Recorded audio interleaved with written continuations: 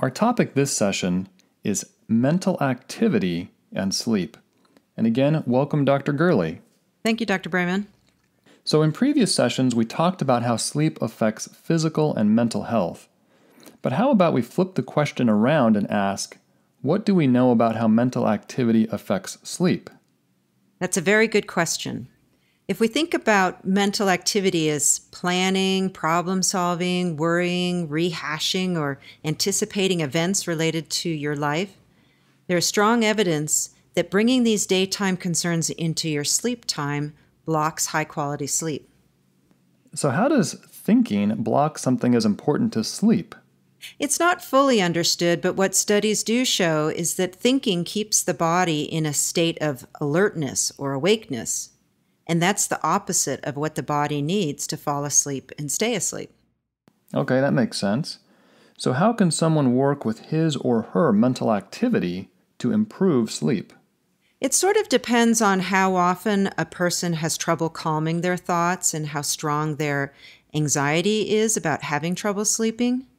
So, if a person has struggled for many months or years with poor sleep because he or she has difficulty switching out of thinking mode, then those people usually need to rebuild most, if not all, of their habits related to preparing for and going to sleep, getting to sleep, and getting up in the morning. So that sounds rather complicated. How does a person actually do that? It's not as complicated or difficult as it sounds. There's a well developed treatment approach called cognitive behavioral therapy, or CBT, that is a systematic process to help a person reset habits. And CBT has been shown to be quite effective for people who have high anxiety about how hard it is to get to sleep and stay asleep through the night. Okay, so CBT can help us manage the things around enabling good sleep.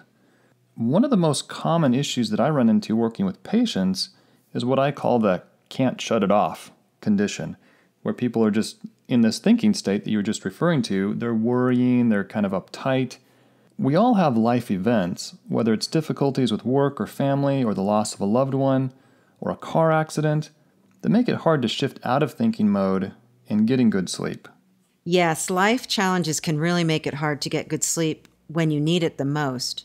One sleep health habit everyone should develop that can be particularly helpful in times of stress is to develop a routine or ritual where you intentionally bring your day to a close and you invite sleep.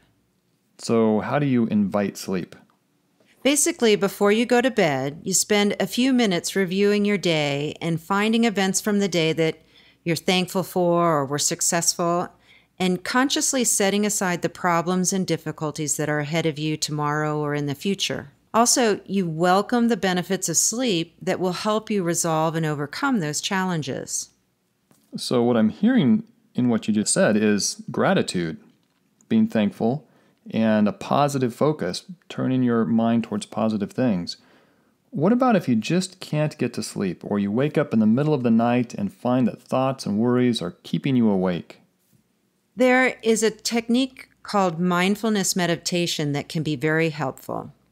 Mindfulness meditation is an easy to learn technique that helps you focus your mind on sensations in your body, like focusing on your breathing, is the most common.